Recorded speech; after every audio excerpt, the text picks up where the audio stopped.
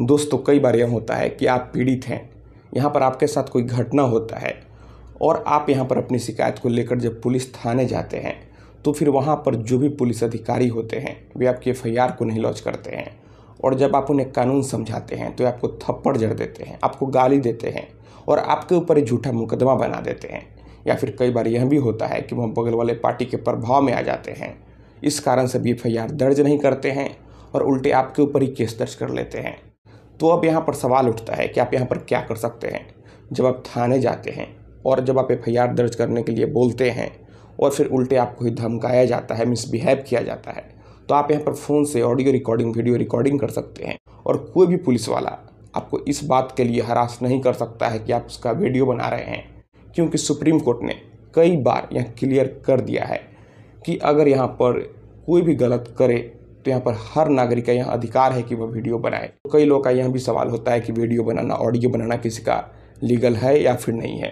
तो दोस्तों, अगर कोई गलत करे तो आपका यहाँ पर अधिकार बनता है। अगर आप भारत के नागरिक हैं, आप एक सभ्य नागरिक हैं तो फिर यहाँ पर आपका ड्यूटी है कि आप वीडियो बना सकते हैं। कोई भी पुलिस वाला इसके लिए आपको मना नहीं कर सकता है। तो अगर आप थाने जाते हैं, आपके साथ मिसबिहेव किया जाता है, आपको ही धमकी दिया जाता है और आपको थप्पड़ जड़ दिया जाता है तो अगर संभव हो तो आप वीडियो बनाएँ। और आपको यहाँ पर चाहिए कि आप उनकी शिकायत, उनके वरीय अधिकारी उससे करें। आपको यहाँ पर चुप नहीं बैठना चाहिए। आप यहाँ पर ज़िले के एसएसपी को रिटर्न में कंप्लेन करें और आप जो कंप्लेन करें वो स्पीड पोस्ट के माध्यम से भेजें।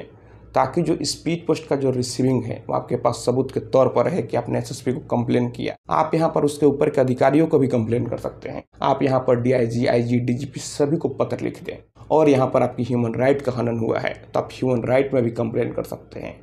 आप यहाँ पर पुलिस कंप्लेन अथॉरिटी में भी कंप्लेन कर सकते हैं।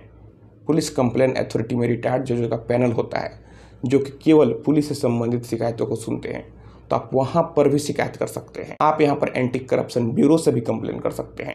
तो अगर आप इतना जगह कंप्लेन करेंगे तो फिर निश्चित ही जो भी दोषी पुलिसकर्मी हैं, उनके ऊपर कार्रवाई ज़रूर होगी। और अगर कहीं से बात नहीं बने तो फिर आप वकील के माध्यम से कोर्ट में सीआरपीसी के सेक्शन एक सौ छप्पन सब सेक्शन तीन में जो भी दोषी पुलिसकर्मी हैं, उनके ऊपर केस दर्ज करा सकते हैं। और जब मामला कोर्ट में जाएगा तो कार्रवाई होना तय है, चाहे वह पुलिस अधिकारी किसी भी पद पर क्यों नहीं हो। तो दोस्तों, अगर आप थाने जाते हैं, आप एफआईआर दर्ज कराने जाते हैं, लेकिन जब आप कानून की बात करते हैं तो पुलिस वाले को बुरा लग जाता है और बदले में वह थप्पड़ जड़ देता है, आपके ऊपर झूठा केस बना देता है। तो फिर आपको रिटर्न में ज़िले के एसएसपी, डीआईजी, आईजी, डीजीपी सभी को शिकायत करना चाहिए। आप पुलिस कंप्लेन अथॉरिटी में भी शिकायत कर सकते हैं, आप एंटी करप्शन ब्यूरो से भी कंप्लेन कर सकते हैं। और अगर कहीं से बात नहीं बने तो आप अपने वकील से बात करके सीधे कोर्ट में उस पुलिस वाले के खिलाफ केस दर्ज करा सकते हैं। तो दोस्तों, मैं आशा करता हूँ आपको यह वीडियो पसंद आई होगी। अगर मन में कोई भी सवाल है तो आप बेहिचक नीचे कमेंट बॉक्स में कमेंट करें। और अगर आप हमसे सीधे जुड़ना चाहते हैं, फ़ोन से बात करना चाहते हैं तो फिर आप हमें इंस्टाग्राम पर फॉलो करें। मेरा इंस्टाग्राम पर यूज़र नेम है Pratyesh one five eight four तो दोस्तों, आप इस वीडियो को अधिक से अधिक अपने दोस्तों और रिश्तेदारों में भी ज़रूर शेयर करें। हम लोग मिलते हैं अगले वीडियो में एक नए टॉपिक के साथ। तब तक आप अपना और अपने परिवार का ख्याल रखें।